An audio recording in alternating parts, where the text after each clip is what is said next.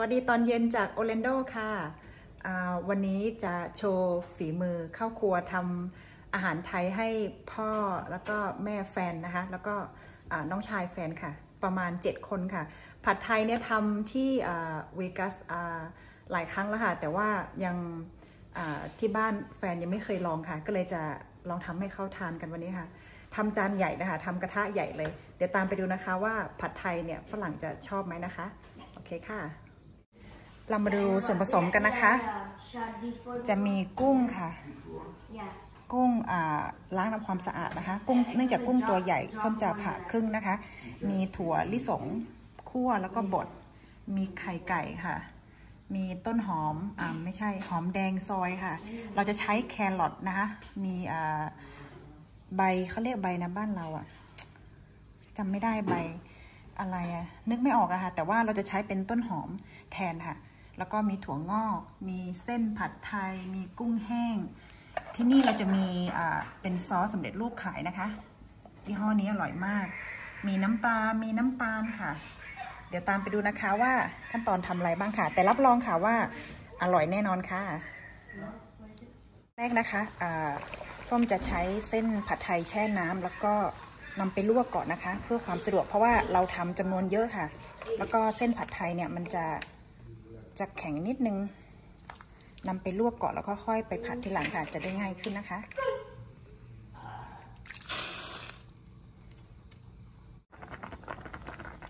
ค่ะพอเส้นเริ่มพอสุกนะคะ แล้วก็จะตักออกพักไว้เลย แช่น้ำไว้ประมาณ 10 นาทีค่ะ เส้นก็จะนุ่ม แล้วก็ลวกต่อแค่ประมาณสองนาทีสามนาที เนื่องจากเราทำเยอะนะคะ เราจะไม่ไม่ผัดลงไปในกระทะรวมกันนะคะ มันจะยากต่อการคนค่ะแล้วก็ต่อการชิมด้วย ค่ะต่อไปเราจะเจียวหอมหัวใหญ่นะคะ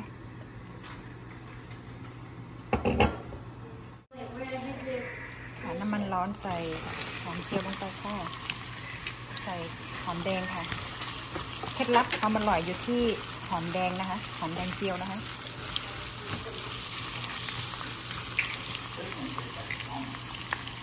ค่ะเราพอเราเจียวให้หอมนะคะต่อไปพักนิดนึงวันนี้แม่ครัวโดนเฉือนนิ้วไปหน่อยนะคะ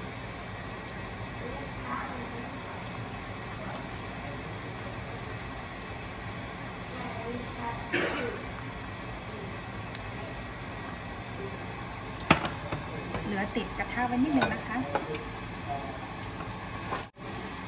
จากนั้นเอากุ้งลงไปเลยค่ะใส่ทอด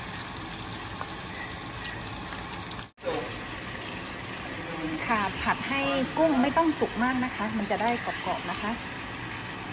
สักแป๊บหนึ่งก็น่าจะได้แล้วแล้วเดี๋ยวเราก็จะเอาไข่ไป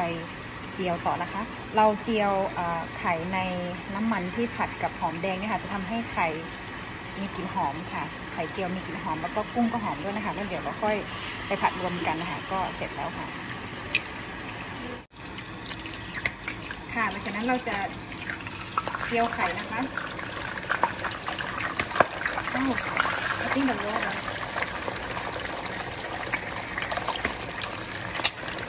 ไข่ประมาณสี่ใบห้าใบนะคะ เพราะว่าหลายคน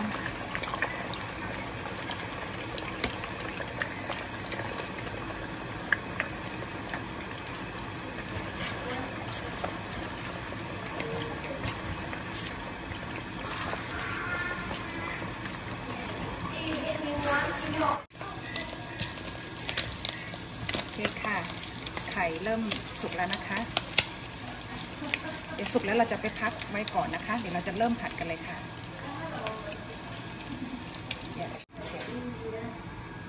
ค่ะเราตั้งกระทะที่จะผัดแล้วนะคะ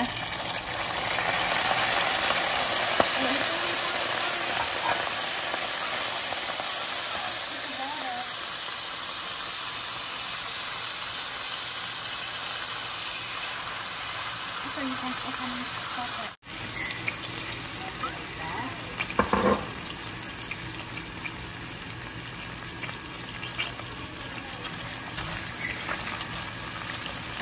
ส่น้ำมันแล้วก็หอมแดงที่เราเจียวเมื่อกี้นะคะ ลงไปผัดด้วยกันค่ะ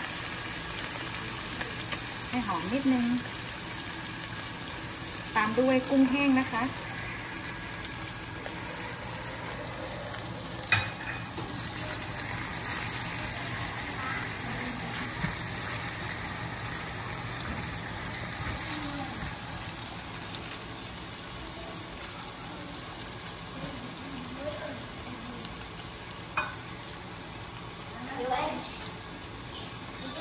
แครอทค่ะ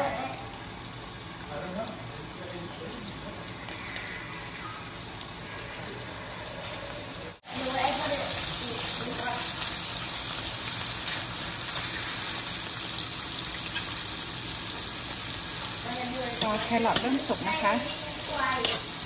ใส่น้ำผัดไทยไปนะคะ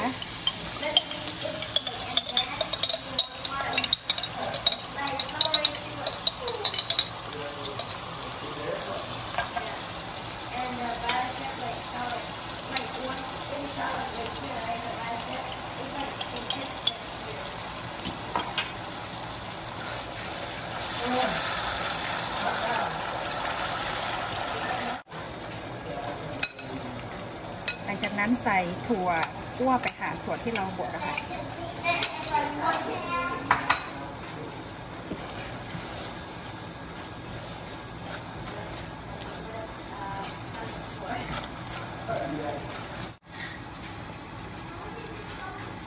ใส่น้ำตาลเชื่อมลงไปนะคะ ประมาณสามช้อน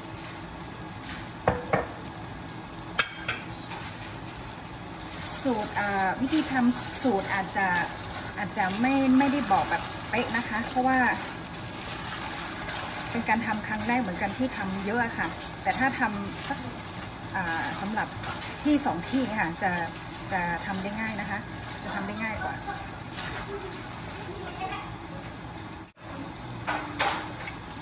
ใส่น้ำปลาลงไปค่ะ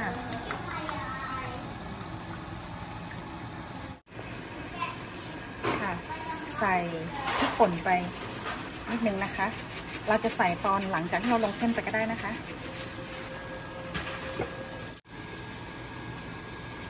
ลงเส้นไปเลยค่ะ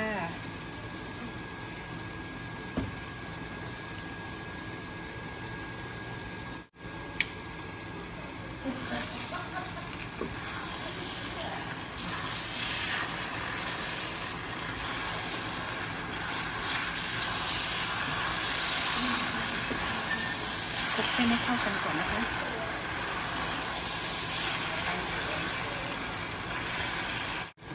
ค่ะใส่ต้นหอมหั่นไปนะคะ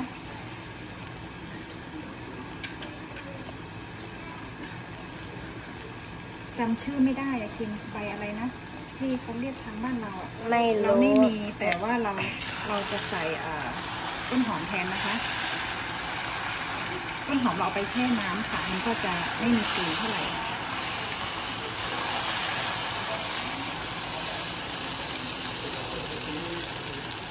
ใส่ กุ้งลงไปค่ะ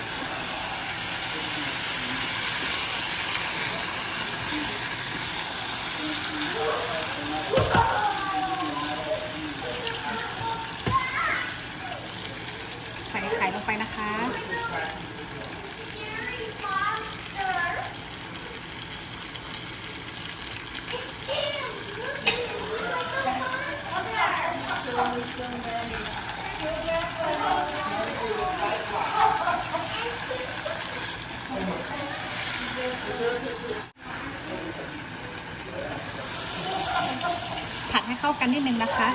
เริ่มหอมแล้วค่ะ ตามด้วยถั่วงอก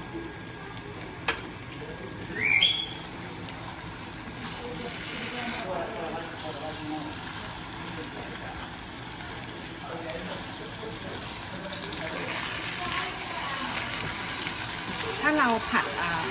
เครื่องนะคะ แยกต่างหากแล้วเราก็มาผัดในกระทะใหญ่ รสชาติมันจะอร่อยมากอร่อยกว่าเราผัดรวมกันในกระทะค่ะ เพราะว่าเราทำค่อนข้างเยอะค่ะ เส้นก็ไม่เละด้วย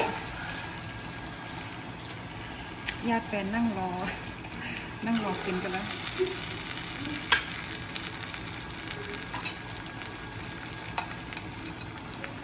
โรยถั่วใส่นิดนึงนะคะ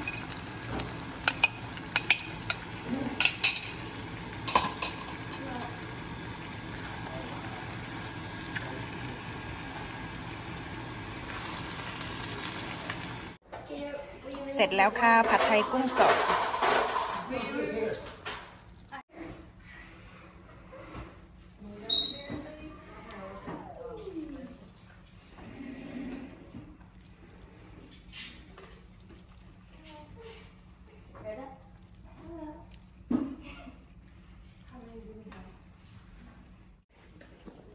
เสร็จแล้วค่ะ ผัดไทยกุ้งสด อร่อยมากค่ะ อบคุณสำหรับการติดตามรับชมนะคะ แล้วเจอกันใหม่คลิปหน้านะคะ ว่าเราจะมีอะไรมาให้ดูกันนะคะ บ๊ายบายค่ะ